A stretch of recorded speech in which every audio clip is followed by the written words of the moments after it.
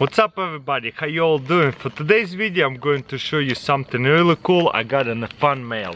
Let me show you what it's all about. Boom, survival kit right here. And it's a Hexa Pot. Let's open it up. I never seen anything like that. But I read the instruction. It's actually a pot that is one time use only and it feels like made from paper so it's pretty much a paper pot. So we're going to open it up like that. Whoa look at that. It's a big one. They also say they actually sell the smaller ones as well. Let me show you what this one is all about.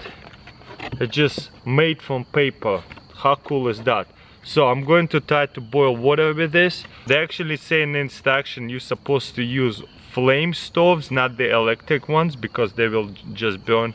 Also, they say it will get darkened, which is okay. The title should be, can we boil water with paper? Because this is simply just paper. Well, let's set everything up and put some water in there and see if it boils or not. So we got a stove right here and a lighter. We're gonna turn it on. Nice. Then I'm going to add water in this uh, paper pot. It also says in the description, do not cook uh, solid foods. It has to be either water or liquidy foods. I think this stove is running out of gas a little bit. Okay, then I'm gonna put a, a pot, this pot right on top of it.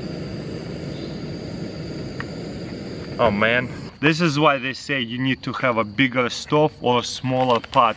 Actually, uh, ran out of gas and I reset it in a better stove. So, whoa, yeah, this is gonna be good. So then we're going to put this pot, paper pot with water, probably easiest to hold it like that. Boom. Just holding pretty good. Yep cover it up close it because with the lid it'll actually cook faster probably gonna turn the fire more. A bit too much. You can see how much this flame heat in this paper. The paper is just not burning pretty crazy huh? Okay i'm being really impatient and i turned on the stove even hotter and look it's steaming pretty good and boom look at it it's finally boiling. If we wait a little bit longer it's going to get boiling even hotter. You see how much it's steaming? It's definitely boiled water. Look at all that steam going up.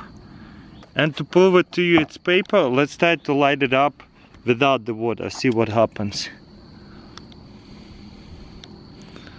On the side right here boom look it gets on fire super easily. How crazy is that? How come under the stove when it's with water it does not, not burn? But without water it burns easily. Pretty cool huh? Why does the paper does not get on fire? Well because water absorbs all the heat so that's why paper does not get on fire. Without water as you can see it lights up pretty instantly.